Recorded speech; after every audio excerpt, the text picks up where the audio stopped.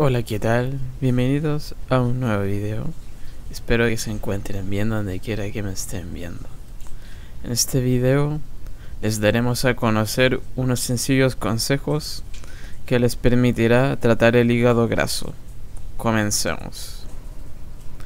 La mayoría de las personas asocia la hepatitis, inflamación del hígado, con el contagio a través del virus ya sea por medio de alimentos contaminados o por fluidos corporales.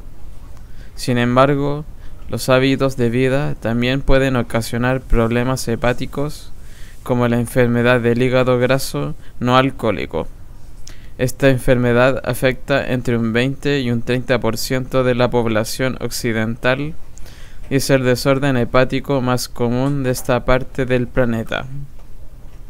Una de las características de esta enfermedad, que según estudios afecta entre el 70 y 90% de personas obesas o con DM2, es que su tratamiento incide en el cambio de hábitos de los pacientes como primera opción.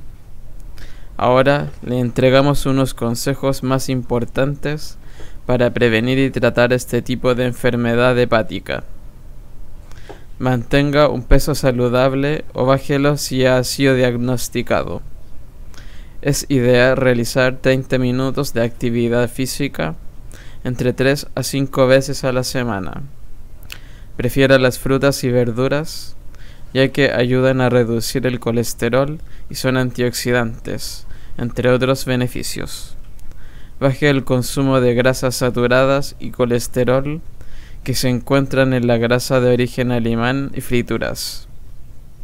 Disminuye el consumo de hidratos de carbono, azúcares, sobre todo los simples, como por ejemplo el azúcar. Y eso es todo.